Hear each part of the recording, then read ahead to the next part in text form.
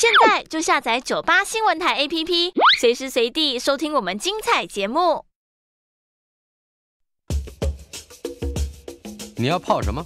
要泡茶、泡咖啡，可不要泡沫经济；要泡泡糖、泡泡澡，可不要梦想成泡影；要泡菜、泡饭、泡妞、泡书本，就不要政治人物跟咱们穷泡蘑菇。不管泡什么，张大春和你一起泡新闻。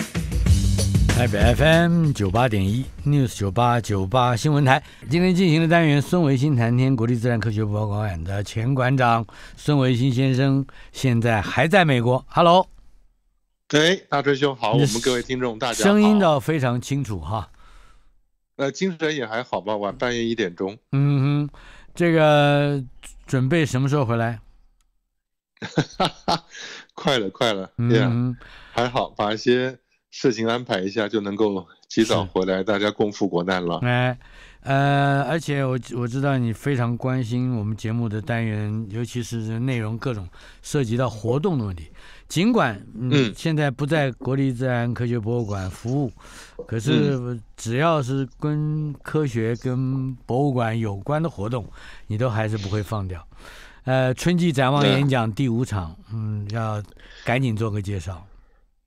对，呃，据我的了解，博物馆现在都已经暂时休馆了啊。是。但是呢，我们在台大所办的展望演讲系列，嗯，因为这学期一开始这个系列我们本来就是采取线上进行的，是，所以也不受影响。那马上就要来的是这个礼拜五六月四号的晚上啊，嗯，要做的一场演讲是大机器小粒子，嗯。迈向物质核心之旅，是邀请了中央大学物理系的郭家明教授来做讲解。讲什么呢？讲是我们现在经过了二十多年的努力啊，终于比较清楚的知道物质的核心结构是什么了。嗯哼。不过大春兄，这就牵涉到了在瑞士日内瓦跟法国边缘的那个大强子对撞机，是 LHC。我想可能，嗯，Yeah。很多人都会听过大强子对撞机可能会产生微小黑洞毁灭地球，但是 那是好笑的啦。但是这个大强子对撞机呢，是八十五国的八千多个科学家嗯合在一起花了八十亿美金做出来的。嗯哼。那前一阵子，二零一二年、二零一一年、二零一二年，终于得到了梦寐以求的希格斯粒子，似乎发现了希格斯粒子。嗯哼，对，然后二零一三年，两位恩格勒跟希格斯呢就得了诺贝尔奖。嗯哼，所以看起来这个大强子对撞机还的确真的是给出好多物质基础结构的资讯来，可以比较清楚的告诉我们，呃，这个大强子对撞机出问世之后，对于我们之前所理解的 什么分子呃的结构里头的。原子核里什么什么外面的电子里面的中子和质子，到底有些什么样的冲击？呃，对他看得更细，看得更细，他不去不去管那些电子啊或者原子核了，嗯，他看原子核里面的质子，嗯，那这个大强子对撞机呢？我的天哪，它非常巨大啊，嗯，光是它整个圆周这一圈的圆周的周长就是二十七公里，哦，那所以从过去到现在一路走过来这些。呃，对撞机啊，各种各样的加速器对撞机啊，它其实要求很简单，就是你做的越大，能量越高，就能撞出更多物质基本的组成来。嗯，那它这里面很好玩，它用的是质子加速。大师兄，质子是带正电的，我们原子核里面有质子跟中子嘛，是，那外面电子带负电很小。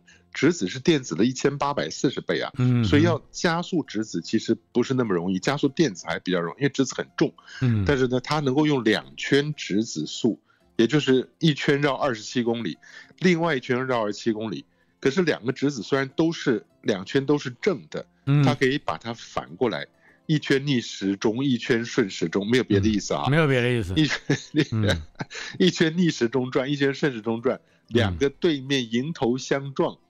那产生的物质呢？分析了以后，其中有一项成果就是希格斯粒子了。也就是说，我不知道我们其他领域的人每次谈到了做加速器、做对撞的这些科学家啊，嗯，老是用一些比较世俗的描述去描述他们，说他们的行为实验是真粗暴啊，只要能量够高就能撞出更多东西来。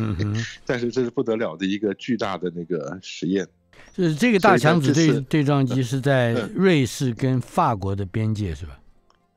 对对，瑞士跟法国的边界，虽然说它有好多地面上的建筑啊是在啊法国，但大多数地下这个环呢是在瑞士，嗯，所以它是个整个地下的一个东西，地下五十米到一百米的一个巨大结构，然后用 超导磁铁啊，嗯。用超导磁铁，然后用要要冷却才会有超导嘛，是。那是用液态氦，不是液态氮哦，液态氮是是零下的一百一百九十度啊，嗯液态氦是零下的两百七十度了。嗯所以是不得了的大工程啊！本来想说零六年、零七年就能够工作的，但是不断的出状况，嗯后来一直到后来呃一零年呐、一一年才开始真正投入啊。嗯那修改了好多次，但终于是有成果了。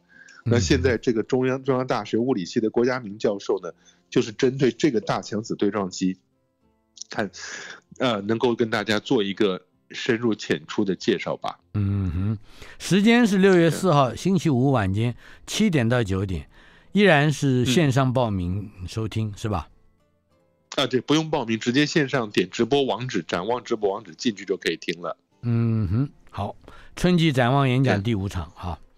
好的，是接下来关于我们的天文学的消息，二零二一年的啊超级 Blood Moon，嗯，来看看超级的，对，大真兄，我不知道你有没有看呢、可能很多台湾的同仁们有兴趣的那天都有看呢、嗯，我们上回在节目里说了，五月二十六号晚上嘛。是五，月二十六，对，然后月初带食，也就月亮从东边出来的时候，就已经被食了一半了，嗯哼，已经被的多半都被地球阴影挡住了嘛。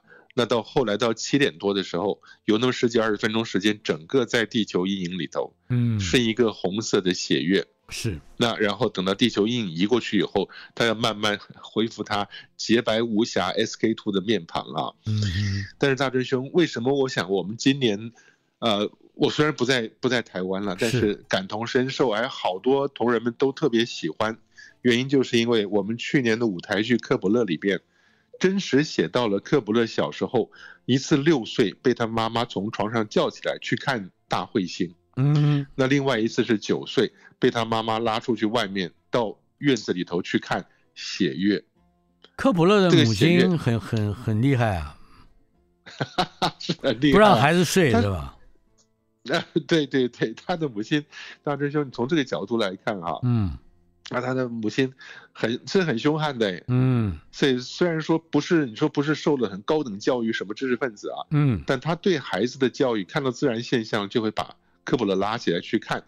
那那次是血月，因为只要是月全食，整个月亮就变成深红色的。我们以前说过好几遍嘛，嗯太阳光经过地球大气层的绕射以后，蓝光滤掉了，折射到别的地方去，剩下红光落在月球表面。嗯所以即使月球在地球阴影里面，我们看得到，但颜色是深红色的啊。嗯，那科普勒自己说了，一次六六岁的大彗星观测跟九岁的血月的观测，是，让他对天文产生了无穷的好奇。嗯，到了他晚年的时候，大追求其实我觉得这个真的是因果循环呐、嗯他妈妈带他进入天文的领域了，是，到最后他担任了神圣罗马帝国的首席皇室首席数学家。可是呢，那个时候到后来，他妈妈被邻居控诉说是女巫，嗯要绑上火刑架烧死。嗯哼，那克普勒那时候还千里迢迢赶回家默怜舅母。嗯哼，那他那个法官看到这是 皇室数学家，嗯乖乖的就把他妈妈给放了。嗯哼，所以我在那个舞台剧里面写到这句话，说妈妈说没有想到当年我带你把你叫起来看天象，今天你能够用天文的知识，嗯，这个才是真的，一报还一报啊。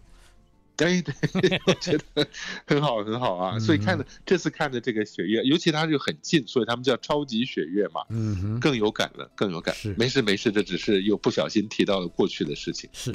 这个这当然提到的不只是呃科普勒的过去的事情，也是您的编剧和演出的事情，是吧？这个不能忘记，嗯对要随时提醒一下。对对对对对啊，好，呃，但关于血月啊，呃，嗯。这个月亮绕地球的轨道可以说一说吧？啊，月亮绕地球的轨道是这样子啊，哎，大嗯。师兄您说的真好，因为我这一天到晚都在网络上做一些打假的工作啊。嗯。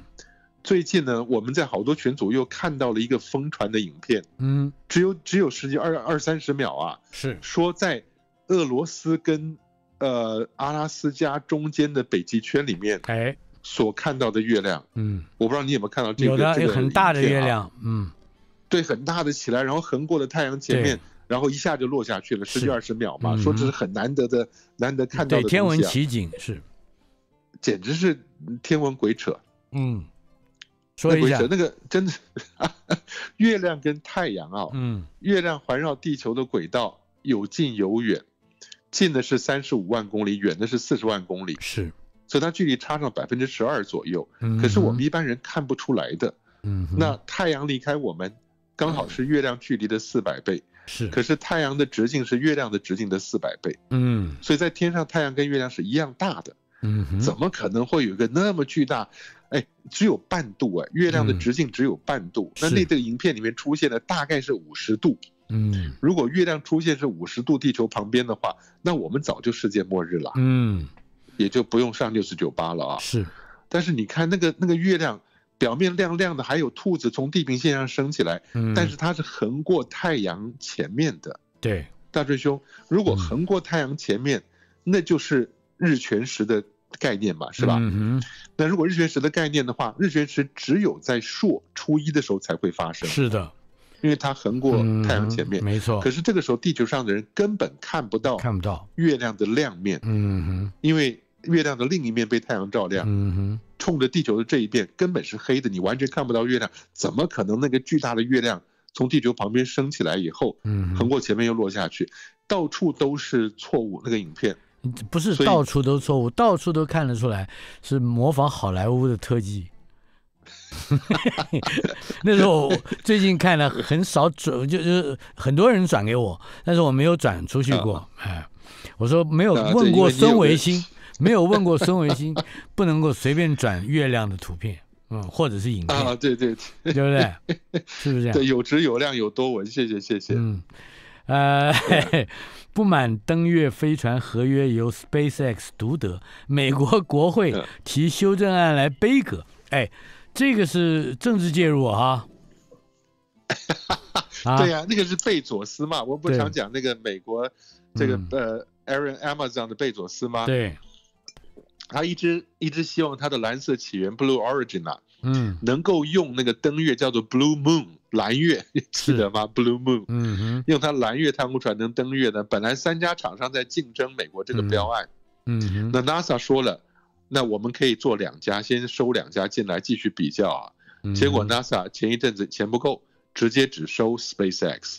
是，那所以贝佐斯原来以为我至少他妈好歹第二名吧，总可以嗯进到决赛圈里头去。国家没想到在负负债就被干掉了，所以嗯他发挥他的影响力。你知道多少国会议员帮他讲话，嗯去质疑 NASA，然后叫 NASA 现在呢又得要重新思考，到底要给几个人？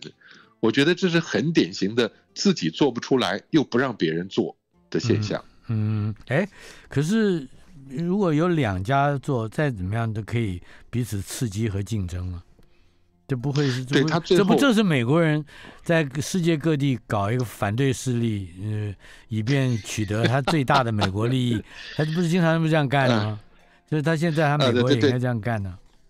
但是这种这种研大型研究计划，我们以前在 NASA 工作的时候啊，嗯是很习惯于这样的做法，也就是他收第一期计划收进来，可能嗯三十个计划，那等到三十计划审过一遍以后，剩下五个，他们叫 shortlist，进到短名单了。是，那这五个里面，给你一些钱，大家都做一做，再看成果，那最后可能就剩下两个，两个最后拼出一个来，嗯哼，最后一定会出来一个，但他那个一个要出来是到最后的时候出现以后，他就拿到所有的钱了。嗯哼，那能够进到复赛跟准决赛的，其实也拿到了一些钱可以做事情。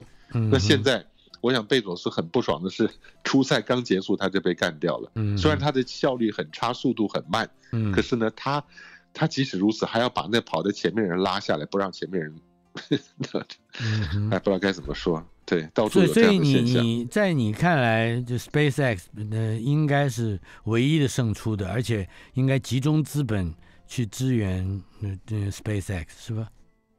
对，因为到目前为止看到的，马斯克承诺的他是做得到的。嗯哼，那无论是贝佐斯的蓝色起源，或者是巨大的波音公司，已经到官僚化的波音公司了，嗯他们所承诺的都做不到，嗯哼，在在他们答应的实现里面做不到，所以呢，那我相信 NASA 把赌注压在 SpaceX 上面，对于它有限的经费来讲是正确的决定，但是问题是你科学的决定搞不过政治的压力。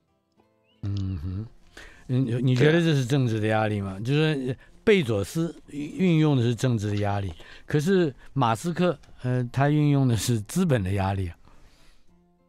嗯，他也很对呀、凶啊你知道原来 NASA 原来是希望这个登月的登月的这个这个设施啊，嗯，要拨款三十三亿美金，是，那结果呢？那 NASA 的署长去要要求国会半天，今年才给了八点五亿。嗯哼，那所以呢，你资金有限，NASA 没有办法再给两家了，所以 NASA 说国会给我的少，我就只能给一家。嗯哼，那结果，是，那国会这边又受到了贝佐斯的影响，又回去去 lobby，然后国会又给他压力，我就不知道这真是乱打一锅粥，就是是，而且看起来这条新闻没有什么科学内容啊。啊接下来，接下来，洛克希德马丁跟通用汽车联手替 NASA 研制二零二四年的月球车，这个里面有没有值得呃认识的科学内容？哦呀，这就有了，这就有了，比我们刚刚讲的要好太多了。嗯对，月球车哈、那这个月球车，也也是说我们现在看起来重返月球，你除了火箭之外，你还是希望有车子在月球上面可以跑的。嗯哼，你现在车子上了火星都能跑了，月球上面过去阿波罗十五号就曾经带了一个月球车上去，在那儿飙车了。嗯我不知道大锤兄您看过那个图案那个照相没有啊？是，但是呢，那现在 NASA 要求月球车能够载人、商业物资，还有可以开到偏远地区去。等一下，月亮月亮上有什么偏远地区？它每个地方都是偏远地区。它可能讲的是背面，对不对？呃，不会，它不会开到背面去了，它能够开的地方真的是有限了。嗯那它只要有能够活一百天就可以了。那所以洛克希德马丁跟通用，他们原来是军火商的大军火商的，是，他们现在也是看到这个商机就投入了，那希望能够跟 NASA 合作这件事情啊。嗯哼。好，那而、可是洛克希德马丁跟 NASA 已经合作了有有没有五十年了，是吧？也有而五十年通了，对用对对。也帮助过这个 NASA 开发最早期的月球探测车，现在再去做探测车，到底在它的技术方面有些什么样更新的内容？对，其实大春您这样提了以后，我真的想到我上课的时候常常会提到几个火星任务啊，嗯里面有一些卫星跟一些往月球的任务是洛克希德马丁公司做的。是，那当然，以前有些火星任务出出了纰漏也是他们做的，嗯，那细节咱们就不用多说了，有些很荒唐的那些过程跟错误啊，但是大家反正就从中学习嘛。嗯那现在看看了，看看他的月球车到底最后花落谁家？我是觉得奇怪的，他们怎么连这个登月的火箭是炒成这个样子？月球车未来是不是也会有问题？待会儿还会有另外一条新闻，也是跟月球车有关系的。呃，好，先不不，嗯，我们把月球车搁在一边儿，先看看电影，嗯对不对？你想，我知道你想急着想讲电影，呃，啊对对对国际太空站拍电影，俄国抢先美国拍出了，啊不是戏剧，是真的太空片儿，嗯谈一谈。，Yeah，大师兄，您还记得原来我们说过好莱坞要把谁送上太空吗嗯、t o m Cruise，？Yeah，Tom 嗯 Cruise，时今今年是多少？去年是五十八岁，今年不知道多少了啊。嗯哼，那送上去以后，你可以想象那个好莱坞的大片一定非常壮观、感人又刺激的。我一点都没兴趣，我认为俄国的那个 那个女演员三十六岁的漂亮多了。大哲兄，你讲话也很直白啊。呃，我不，我完全不知道那个片子干嘛，我也不知道它那个科学内容是什么，我也不知道它所谓的真太空面、真实的太空面跟戏剧有什么不同。但是我注意到嗯。那个女演员很漂亮，三十六岁的俄国知名女演员啊，嗯。那还有一个三十七岁的知名导演，嗯哼，俄罗斯呢就决定把这两个人今年十月就送上去了。嗯哼，哎，所以六月份就开始要训练了。大锤兄，六月训练三个月的时间就已经打包要上太空来。嗯哼，他们要去太空站，然后在那边拍片。那个片子暂时叫做《挑战 Challenge》。嗯哼，所以呢，你看得到是那个女演员跟普丁的合照是吗？我没看到普丁，我是你只看到女演员。坦白讲，啊，你眼光看不到普丁啊，你看不到，你小心别给送西伯利亚去啊！讲这话。哎，可不可以告诉我，到底这部片子，既然说它跟一般的这个像什么太空救援啦，或者什么这些，呃，好像不见得有关啊。它是一部真实的在太空发生的片子。有有具体较为具体的内容吗？没有，没有。到目前为止，他并没有公布他这个电影要怎么办啊。所以阿汤哥也不会说，因为他一说就破梗了嘛。嗯。所以他的整个电影结构是怎么谈的是什么东西不知道，而是说俄罗斯呢又抢先美国好莱坞一步，先把人送上去拍片了。也就是过去我们看到的阿波罗十三号电影呢，你看到 Tom Cruise 跟其他人，啊不是 Tom Cruise，Tom Hanks。Tom Hanks 跟其他人在太空舱里也是飘来飘去啊，然后走来走去的，但是那就是在我们所说的 Zero G 零重力的飞机上拍的，那个飞机做波抛物线的运动，每段时间大概十几二十秒是零重力的，嗯所以他们就利用那个零重力飘起来，感觉上是很真实的。那现在二话不说，不用飞机了，直接到太空站，美国跟俄国竟然从他的科学、科技、军事打到了电影这块儿，嗯。我忽忽然之间有一个点子，呃，我等一下告诉你。孙伟新谈年单元，国立自然科学博物馆的前馆长孙伟新先生在我们的线上，也在他实际上是在美国。Hello，孙馆长。哎，大师兄，哎哎，你刚才提到了 Tom Hanks 的这个这个电影啊，也就是阿波罗十三号，对不对？对对。你现在讲到他，我就突然想起来，他演过一部片子啊。叫做 Saving Private 呃 Ryan，就是拯救雷恩大兵，是不是？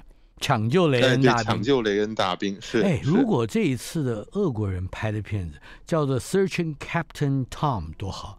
他那就是说 Tom Cruise 跑上去拍电影就被找不就找不到他了，然后我们俄国人呢呃想办法来找他，这给他一个很大，这这个这个这编剧点子还不错哈。Searching Captain Tom，那就真打起来了。我跟你讲，大军军如果那样拍的话，哈，嗯，美国人就应该限制说，你那你拍片，你只能在你俄罗斯那一块你不能到美国这块来了啊。然后美国又会拉着加拿大、日本，上面加拿大也有，日本也有他们的仓啊。可是我们一点一点都不要否认，这两这两个国家现在拍这两部片子，根本上既不是戏剧片，也不是纪录片，它就是政治片，对不对？哈哈，对，的确也是，的确也是。嗯，美国人也要拍太空站的电影，嗯，俄国人这一次也是，是吧？反正，但是就说，我会觉得是这样，你会不会觉得观众的口味是越来越重的？嗯哼。所以你看到了 Tom Hanks 那样在飞机里飘一飘已经不够了，你现在需要到太空站上，因为那是真正的无重力。我。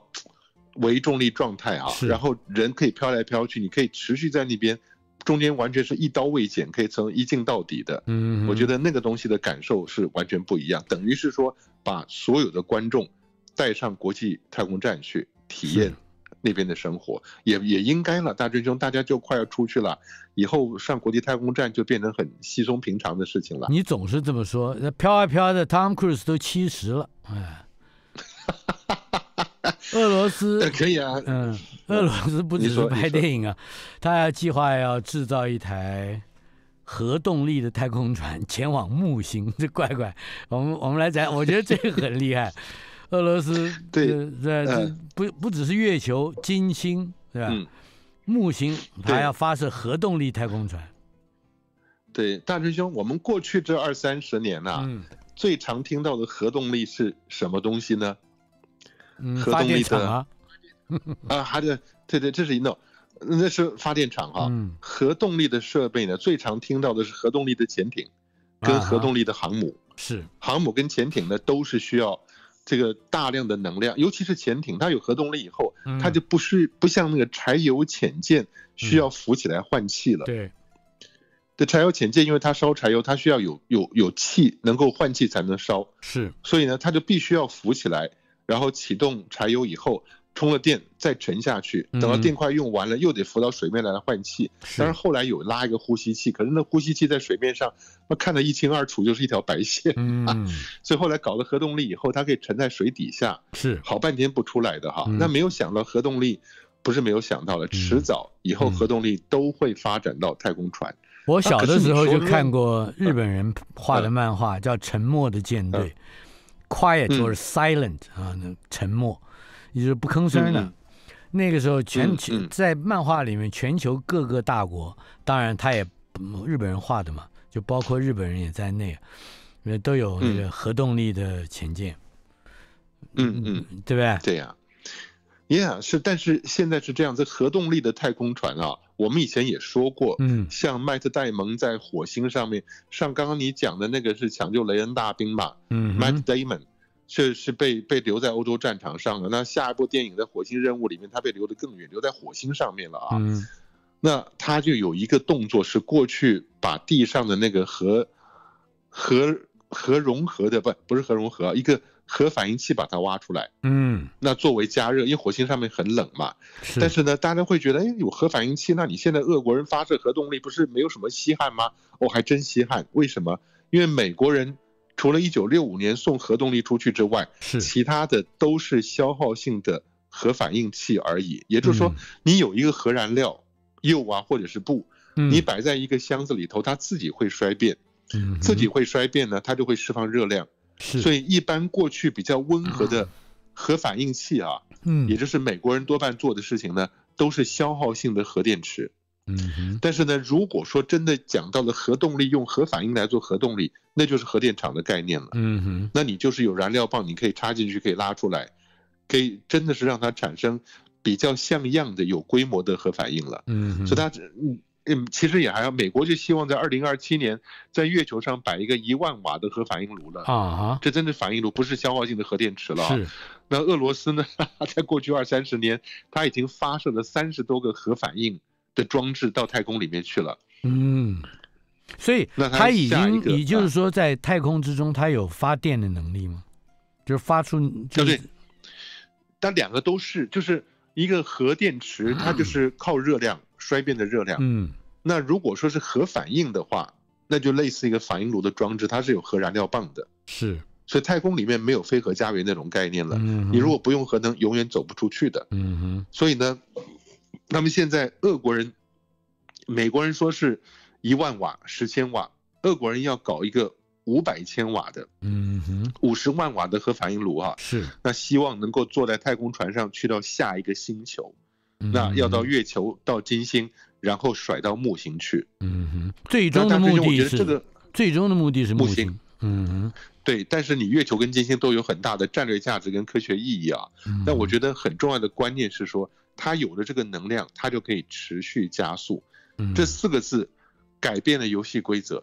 嗯，也就是过去为什么我们到月球要两天到三天，到火星要八个月，就是因为你在地球上持续加速以后，到最后那个上面的卫星弹出去了，你就维持那个速度，一直到你的目的地为止。嗯，但是你路上因为你没有没有那个燃料可以持续加速的，但你现在有了核反应炉的话，核反应的反应器的话，那是不得了，你可以持续加速。那它持续前进、持续加速的速度可以变得很快，所以原来说你到月球去一个 round trip 来回大概三年到四年，嗯，那加了这个核反应装置以后，它就变成一年来回。嗯哼，哎，可是太阳能跟核能在太空之中比较起来，各是仍然是各有优势吗？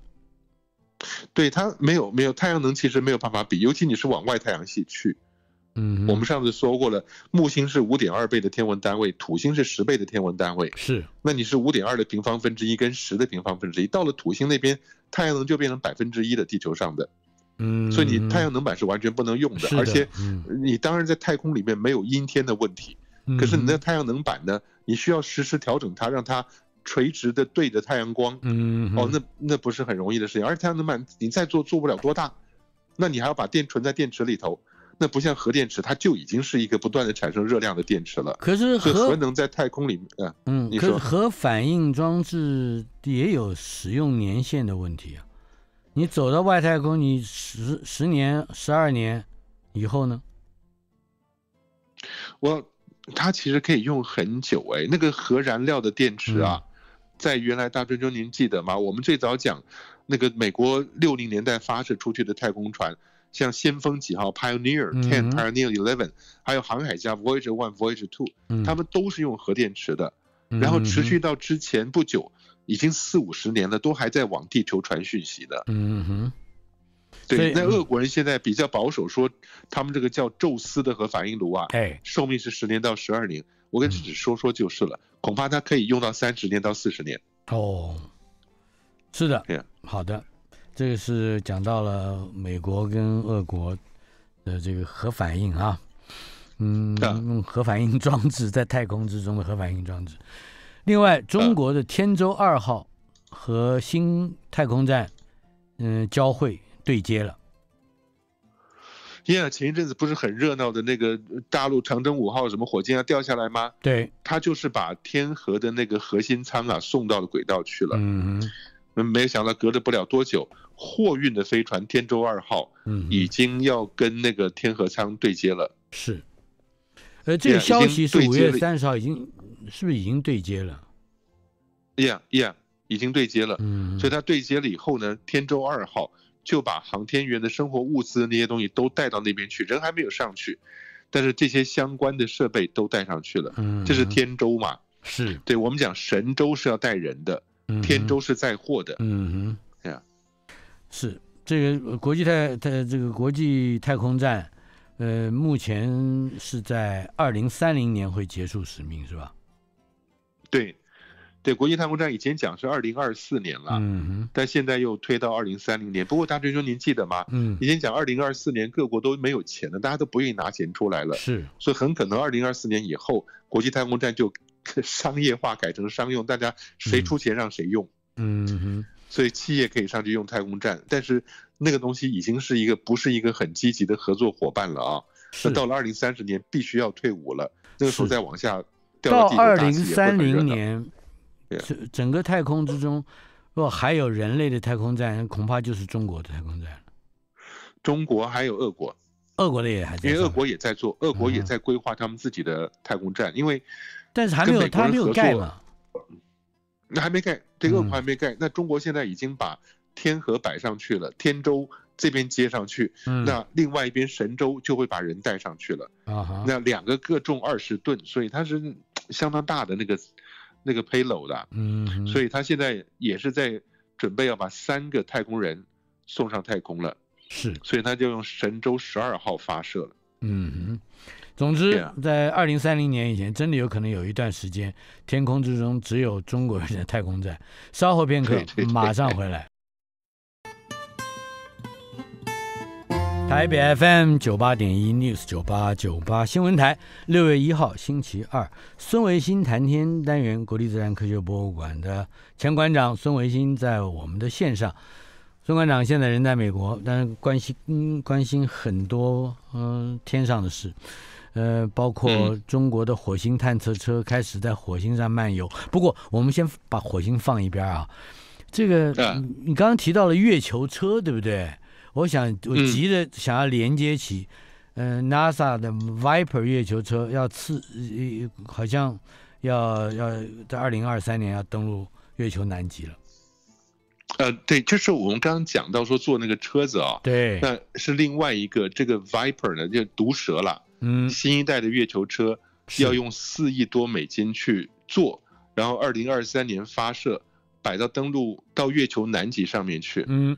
那所以呢，希望能够去探测地下水冰啊什么的啊，但是这一个 Viper 呢，跟我们常常讲的说什么阿波罗十五号人驾驶的那个车子是另外一回事。嗯，所以我们刚刚说的那个人驾驶的车子，那是在里面持续发展，什么洛克希德马丁啊什么的。对对对。但是这个 Astrobotics 就它是一个全自动机械化的车子啊，Viper，那它可以走到非常深的不见天日的陨石坑底端去找寻地下水冰的。嗯哼。所以他的目的就是找水兵吗？呃，水兵当然很重要。这月球上面，他除了月球的水兵之外，他还找月球整个的土质地质分析啊，看看什么地方可以盖房子啊，然后哪些材料能够用的嘛。嗯，那这是一个 NASA 要做的一个全自动的月球车啊，是无人探测载具。对啊。不过看起来阿特米斯计划如果被美国国会那样耽搁了，要给不给给 SpaceX 还是谁的？所以他二零二四年阿提米斯计划回去恐怕不是很容易的。嗯，那这一个 Viper 是要带到 Artemis 上面的。是，呃，还有啊，除了这个 Viper 之外，日本也会送一个会变形的机器球到月球上，这是怎么回事？对，这就是我原来讲过的。日本在去年的时候，他们那个年轻公司 iSpace 啊。嗯，当年参加了什么那些 Google 的那些竞赛啊什么的，没有任何队伍成功。但是日本呢出现了一个年轻团队，哎，做了几年以后，他可以开始拉得到一些生意啊。嗯，那到台湾来呢，也能够在代理美国，譬如 SpaceX 的发射是发射服务啊，日本的发射服务的。嗯，所以这是为什么我们大家待会有一个新闻讲，中央大学跟这个代理商呢已经签字了和签合约了啊。哎，那明年。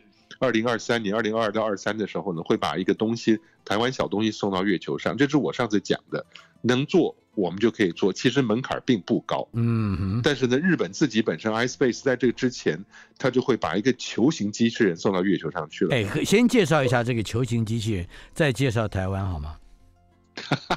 他那个是科技跟玩具啊。嗯。合在一起的东西，那球形机器人上去当然可以做很多月球探测的工作啊，但是它本身整个球只有两百五十克，哎，哇，很很轻啊，很小，很轻很轻。我们说一公斤是二点二磅嘛，嗯，所以说两百五十克的话，大概不到六零点六磅、零点七磅的啊，很小。那但是这个球形上去以后，它又拉长了，变成药丸的形状，啊哈。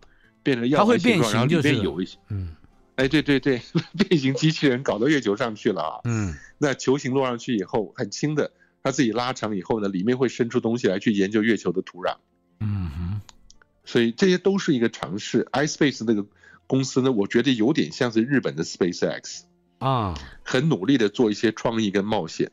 那如果他做成功了，这个市场就是他的了。至于中大。和日也是日本合作吗？是 Space BD 公司？哦，就是这个啊，就这个那个 Space 呀，他就代理那个 iSpace 的这个发射服务嘛。嗯，那 iSpace 已经讲了，这很有趣的，讲的是说，它可以送一个登陆月球的太空船上去，落在月球表面，同时开出一辆月球车来，然后把上面的小房间都空出来了，谁要谁出钱，一公斤多少钱？那反正 你漫天要价就地还钱，谈好了以后，你的东西摆上去就可以到月球去。是，那么中央大学太空科学和科技研究中心又跟这个单位怎么合作？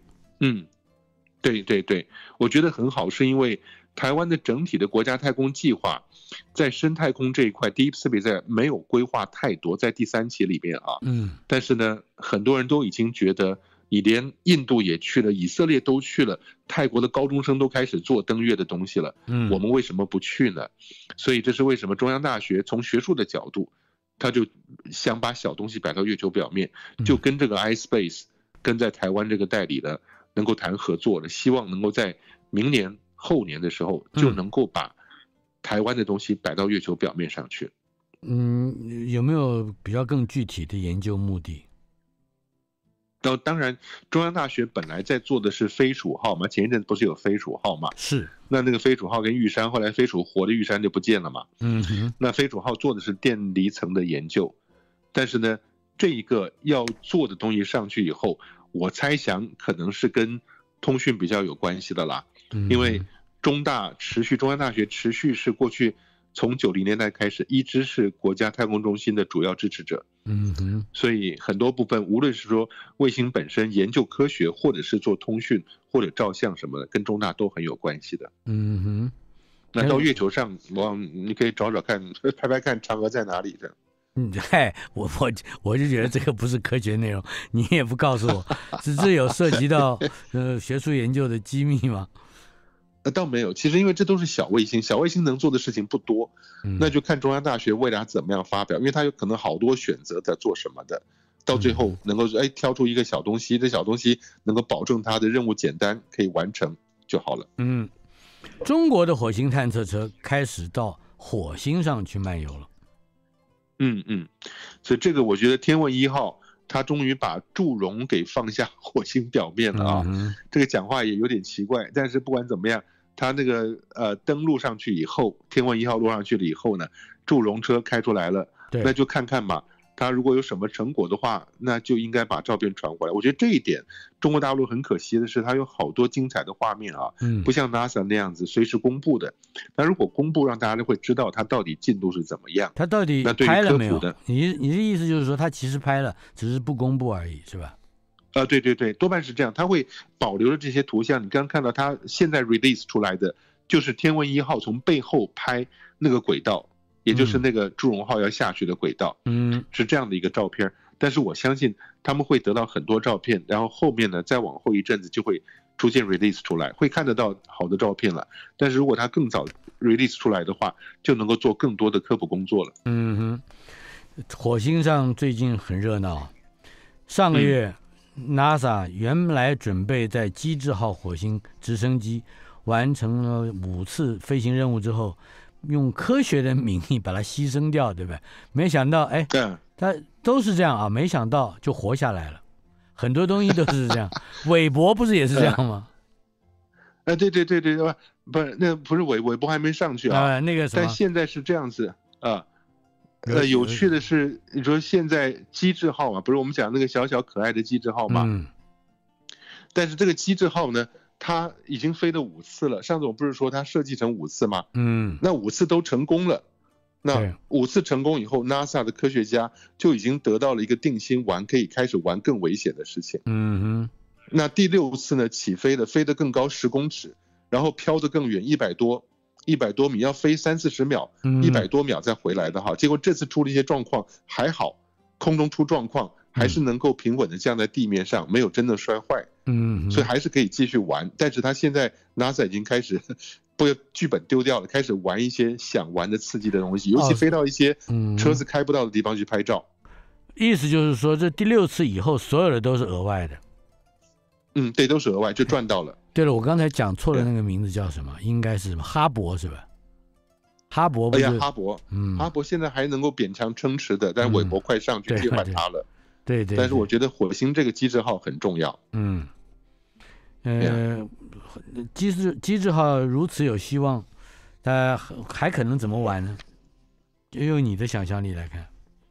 哈哈哈！那你要说以前那些多半都是狡兔死走狗烹一头撞下去啊，但是火星其实也不用撞了，它现在很重要的是让它飞到。车子到不了的地方去。嗯，过去你看到这么多，从最早拓荒者号啊，然后精神号、机会号、好奇号，一直到这个车子都能够到得了的地方，其实很无聊的，也很安全。是，那你把这个直升机送到危险的地方去，崎岖不平的地方，你可能会得到很多新的知识。嗯哼。不过这一次我看到，呃，NASA 公布了好奇号在三月五号到二十八号一系列的云层的画面，是吧？哦，这个火星的云层。讲一，他真秀啊！文学家看到应该特别感动吧？嗯，也就是火星上面，我们知道地球上的云之所以看得到，因为它不是气体，它是液体。嗯哼，是小水珠才是看得到的云，不透明嘛。嗯，那现在没有想到火星上面好奇号都拍到了火星上面的云层变化。哎，经过影像处理以后，哎，那是有云的。所以火星上不是只有科学家能去，文学家都能够去看着天空在那做梦吧？嗯，那你把文学家想的也太简单了。好啊，不只拥有全球性的地下海洋木卫二，嗯的两极，还可能有深海火山，这个有意思。